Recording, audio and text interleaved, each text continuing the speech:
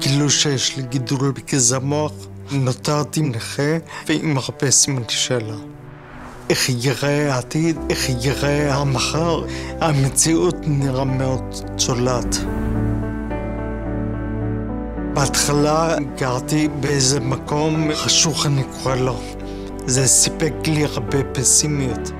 ואז הגעתי לבית שלבת. פתאום אפשר לעשות דברים הרבה יותר בעצמאיות, כמו כל אחד אחר. אם זה דרך טיולים, מסיבות, הפתידות נשברת. הלב מתרחב ואתה מצליח לראות את העתיד בצורה בהירה, הערפיל נמוג.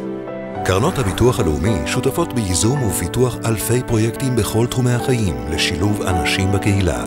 פרטים באתר הביטוח הלאומי